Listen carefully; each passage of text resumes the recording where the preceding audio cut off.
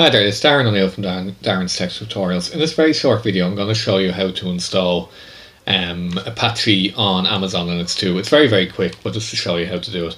So I have my EC2 server here and I'm SSH'd into it. So I'm going to first type in sudo yum install httpd and I want to say minus y just to go ahead and install this. Okay, so we can see it's gone off and it's already installed, so it's very quick.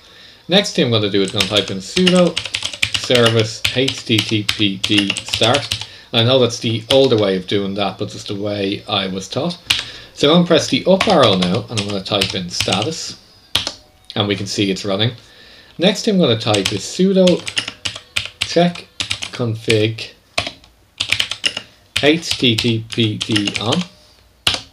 So that means if we reboot the server, Apache will start. Okay, so let me just pull this off screen here. And we can see I have port 80 open from anywhere. And I have my public IP here. So what I'm going to do is I'm just going to copy this. I'm going to go to a new tab here. I'm going to paste this in. Perfect. And that's it. We can see Apache is now working on AWS. So it's very quick how to install Apache on AWS Linux 2. I do hope it was helpful and any issues please do comment below and if I can help I certainly will. Thank you for watching.